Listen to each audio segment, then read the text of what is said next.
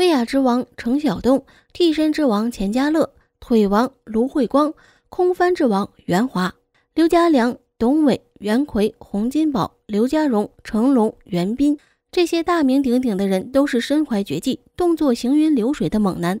他们的武术指导让人拍手叫绝。但是随着时间的流逝，动作片已是日益沉寂，不复当年风采。二零零五年，王晶监制的《天下第一》开播。看到这部剧的时候，以为是古装武侠剧的开始，毕竟动作干净利落、飘逸至极。万万没想到，这并非是开始，而是古装动作的巅峰。剧中曹公公那一腿，让中国武侠片倒退了二十年。二零二二年，风云雄霸天下和观众见面，排云掌、神风腿、天双拳、三分归元气。佛光普照，灼日剑法，每一个招式的特效都极具打击感，让人身临其境。哪怕是年幼的段浪和聂风，也有不俗的演技。这两个小孩吊着威亚，丝毫不惧，有说有笑。一九九八年，刘伟强导演的电影《风云雄霸天下》亦是精彩绝伦，令人惊呼世间竟有如此特效。时隔二十四年再看《风云》，他依旧是站在云顶之巅，笑傲群雄。二零二一年，由张若昀、高伟光。张天爱、李庚希主演的《雪中悍刀行》开播，这是根据网络小说《雪中悍刀行》改编而成的。网上相传英雄志犹未停，还有《雪中悍刀行》。看到这部剧之后，没有看到潇洒的武打动作，只有慢腾腾、软绵绵的打戏，网友称之为《雪中慢刀行》。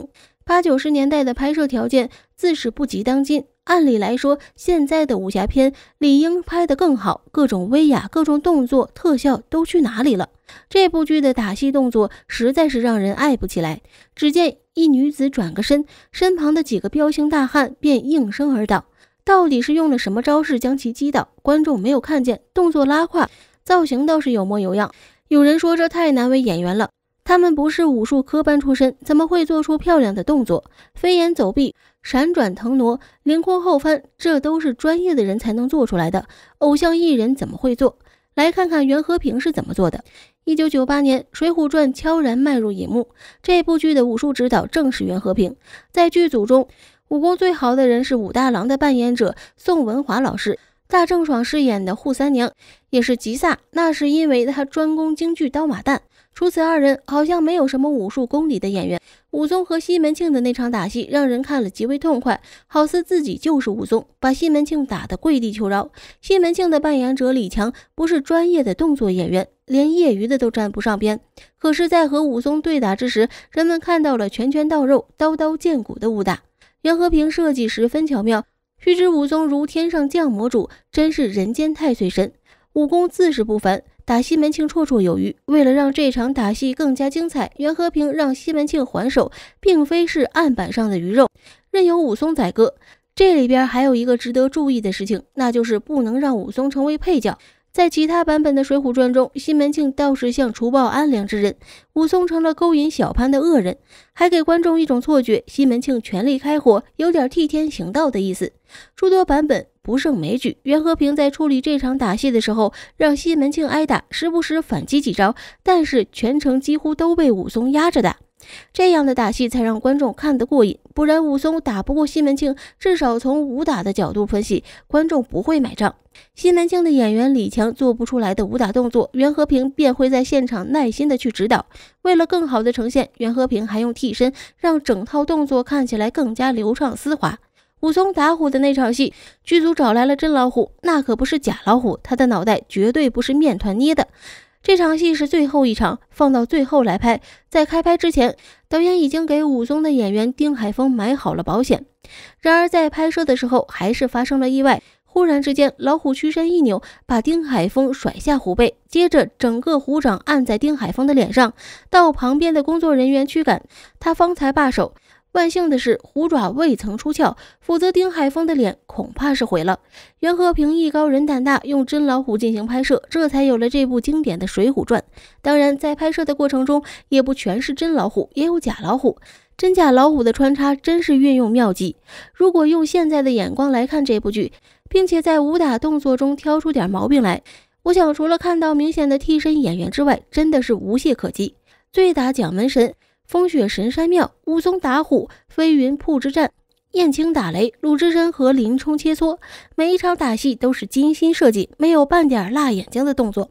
袁和平的动作指导除了经验之外，还有日常生活的积累。在一次的庆功宴上，有个老板喝醉了，说能不能拍部醉拳？袁和平一听，这个创意不错，他看到人喝酒后的醉态还是蛮有趣的。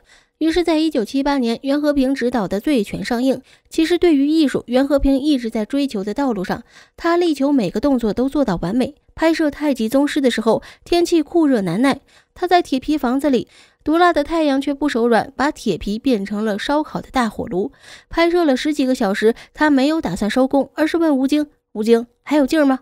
听到吴京说有劲儿，袁和平又开始拍摄。后来吴京在访谈中曾说道：“导演，演员到点了，该回去了。”后来袁和平又和吴京合作，那部《小李飞刀》让人百看不厌。印象最深刻的一个镜头就是吴京扮演的阿飞和李寻欢在梅园里舞剑，那段配乐、环境再加上精彩的武术动作，不禁让人心驰神往。彼时的张静只能演龙霄云身边的打手，换言之就是龙套。但是他不断努力，多年后终于大放异彩。武打演员就是这样，是金子早晚会发光。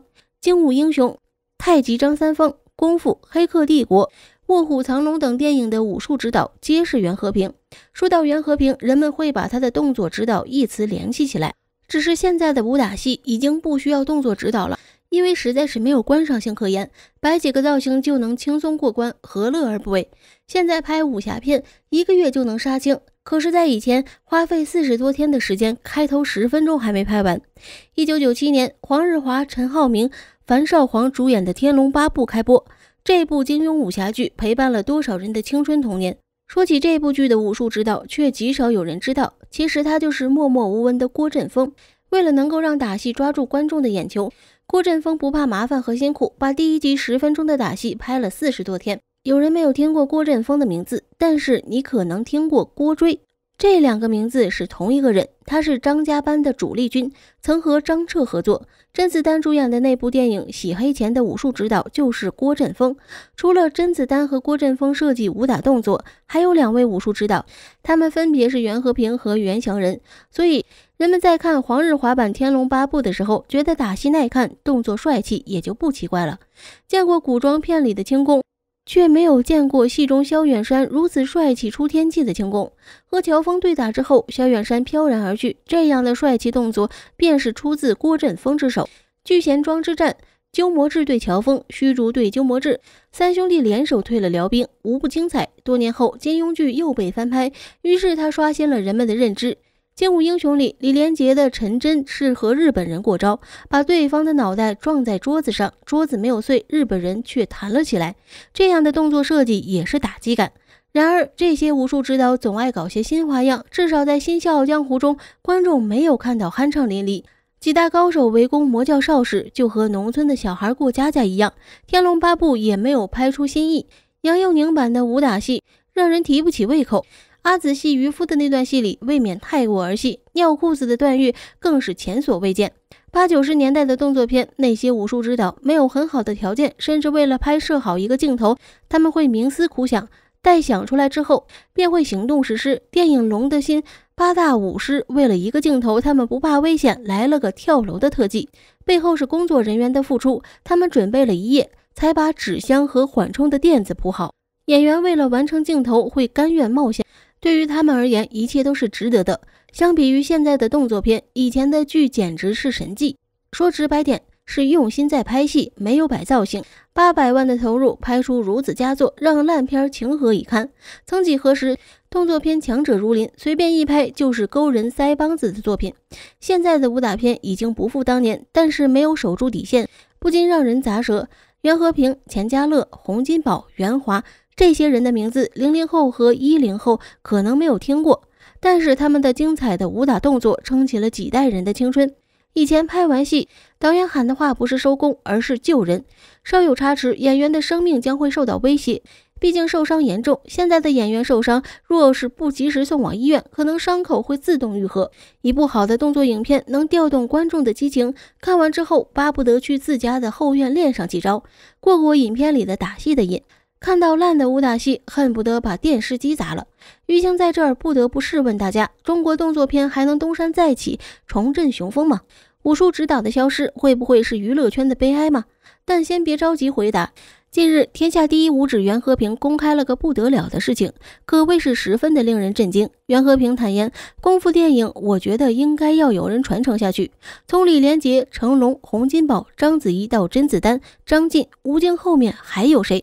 我最大的希望是功夫动作电影有人接班传承下去，因为功夫是我们中国的国粹。现在的功夫动作片都是老一辈在苦苦支撑，一点新鲜血液补进来都没有。按这样趋势，要不了几年，我们国粹电影就要绝迹了。曾经的几强争霸，成了如今的独树一帜。吴京身后可能已无后继之人，内地的武打后辈难以担当。释小龙演技欠缺，成年之后几乎没有代表作，而港台地区只剩向佐和张晋。怎奈向佐是万年捧不红的星二代，张晋恐也是后继乏力，青黄不接的状态让人不禁感伤。英雄垂暮，少年未起，谁能担当大任？